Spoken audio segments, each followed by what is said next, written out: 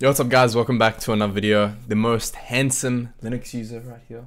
Can't lie, I'm looking pretty good right now, but anyways, you should learn to program before you actually start uni. And I mean like if you're gonna be going into computer science, like if you're watching this channel, you're probably more academically minded, you're probably interested in going to uni, probably learning computer science or engineering or something.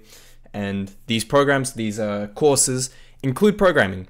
And I'm gonna tell you right now, I am so grateful I started learning programming and programming fundamentals and stuff before I started uni because let me tell you, you're gonna thank yourself. Because I'll just get straight into it. I just had an assignment for my Python class, and let me tell you, this assignment was hard. This was hard for me, and I had like C programming experience. I did, you know, all this Linux stuff. So like I've got my way around computers. I've been, you know, with computers like my whole life basically. And this was hard for me. Like, let me tell you, this is hard for me. I was like, damn. And I was like, there's people in this course that have zero programming experience. I'm like, I would be dying. I would be dying. And just like the dog.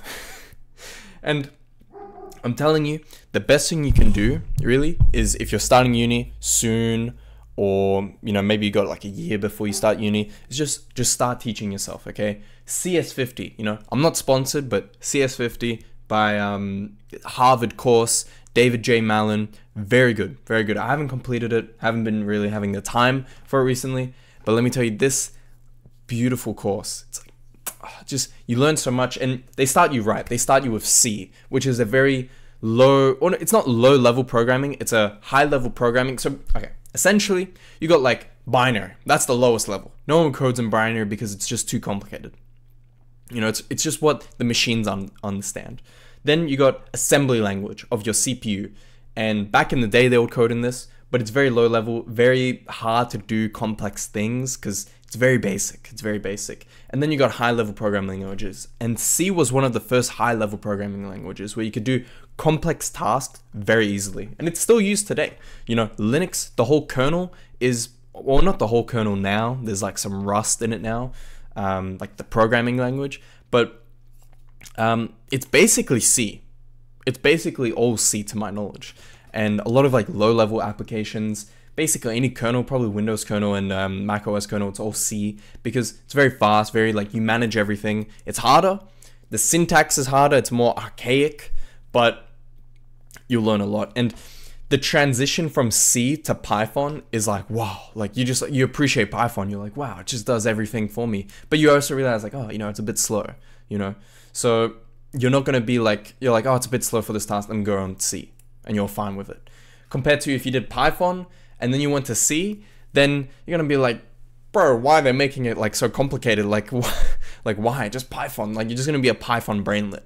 And you don't want to be a Python brainlet because honestly, uni prepares you to be a Python brainlet. If you have zero coding experience, you're gonna go into it, you're gonna learn Python, and then you're gonna learn these other languages like maybe like maybe C or Java, and you're gonna be like, what the? Why am I learning this? Like I'm taking a Java class, and I'm sure there's people that have zero coding experience. They only did Python, and they're just like, what?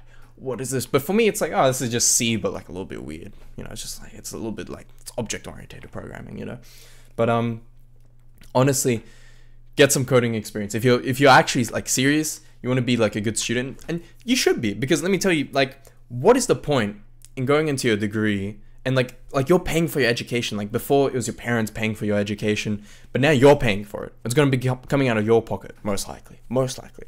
You know, I'm going to be paying for my education. I may as well learn as much as possible. You know, I may as well like fully maximize it. Why should I only like try for the bare minimum? You know, this is like kind of getting out, but this is more like life philosophy if you're going to be paying for your uni degree, you know, then get as much of get as much as you can out of it. You know, that's my philosophy and you know, just learn. You'll literally never lose anything from learning more and more. Like you're not gonna be like, oh man, I just I wish I didn't learn so much. Like I wish I knew less things. You're never gonna say that. I've never thought about that in my life. I'm a very I'm a very curious minded person. Maybe you are as well. I'm always curious about like how things work and how to like deconstruct things and like how I can optimize it best for me.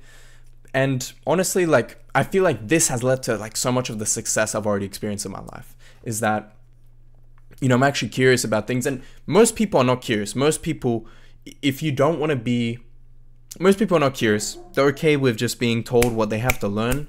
They learn it, and then they kind of just settle with whatever job they get, and that's fine. You know, if that's what they want, that's fine. But if you you're watching this, maybe you're you got aspirations. You have aspirations to bigger things. You want to achieve big goals. Then you got to be curious because the, I guarantee you this: all the the billionaires, all the trillionaires, all the all of them, they're very curious people. Like all the very successful people, they're very curious. They're like, okay, how can I maximize this? How can I do better in this? How can I, you know, learn more about this topic or X, Y, Z? How can I increase my value in X, Y, Z?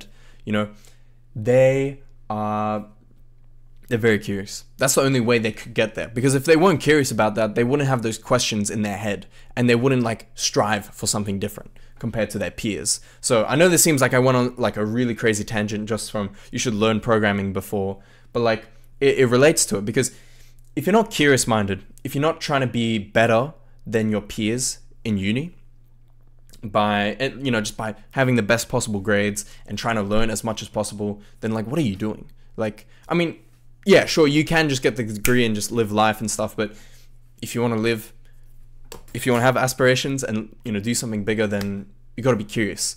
And this comes from like simple stuff, just like learning like programming and coding fundamentals before you even start uni. Because for me, it's like I half listen. Like I li- I, I try and listen, but sometimes it's like you know it is a bit boring. Like oh, just I know this, but it's much better to be like oh I know this than be like what is a what is an object? what is a for loop? Like for me, it's just like yep, next, next, you know, and then it's just like oh okay, Python, you can just make everything lowercase. Like now it's just like oh okay, I didn't know you could do this in Python. This is really cool. Like in C, it would just be a pain pain in the ass. You got to import something. It's like oh no, just boom, you can just like call it. So um, yeah, that is my rant. I hope you gained something of value, and uh, if you liked, please like this video, please subscribe, it helps me out a lot, and I'll see you guys in the next video. See you later.